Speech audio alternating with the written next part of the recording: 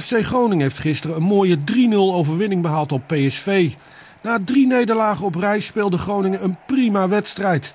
Voor rust scoorde Suk de openingstreffer. Na de pauze scoorde Bakuna en opnieuw Suk.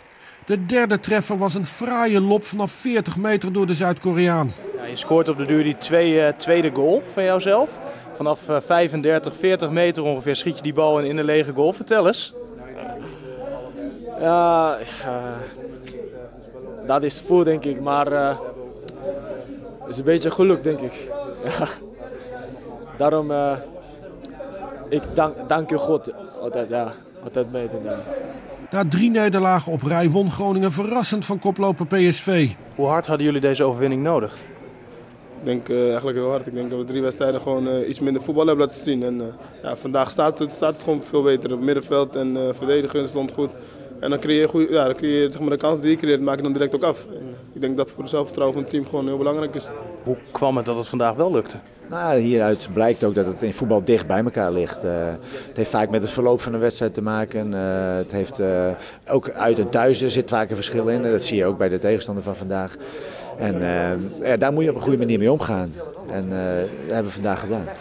De ploeg van Pieter Huistra miste drie spelers wegens schorsingen en speelde met een compleet nieuw middenveld. Vanaf de eerste minuut gewoon, kunnen we, hebben we laten zien dat we ja, we willen de wedstrijd in ieder geval zeg maar, een goede wedstrijd maken. Een goede, met een goede instelling. Zeg maar, bovenop in de, duels. En, uiteindelijk kunnen we ook zeg maar, de 1-0 scoren door een balverovering, denk ik. En, dus dat was, dat was de gameplan. En die gameplan hebben we uitstekend uitgevoerd.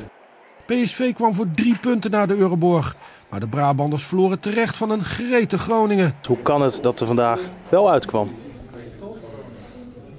weet je nooit. Het is moeilijk om te. Dus, er is eigenlijk geen antwoord voor. Uh, maar de meest uh, logische antwoord, antwoord, is denk ik de in, gewoon de instelling en gewoon de, de bereidheid om, uh, om alles te geven. Maakt niet uit als we nu tegen, als we tegen PSV of RKC of Venlo spelen. We moeten altijd zeg maar, hetzelfde energieniveau hebben en dat, dat, is, dat is heel, heel belangrijk voor ons. Het was misschien ook lekker dat vandaag de druk een keer bij de tegenstander lag en wat minder bij jullie.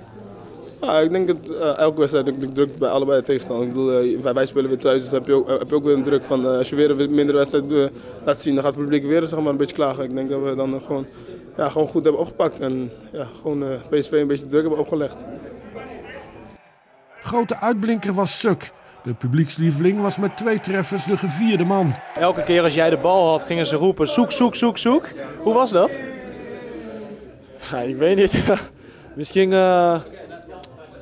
publiek uh, flip mij, denk ik. Ja, ik ook flip, flip, uh, flip uh, publiek. Daarom uh, ik altijd score, zoek, zoek, zoek. Als, en als ik voldoe, als je dus aan bal hebt, misschien voorzet, toen, toen, toen ook zoek, zoek, zoek, zoek. Dat is echt, echt leuk. Komend weekend speelt FC Groningen de uitwedstrijd in Nijmegen tegen NEC.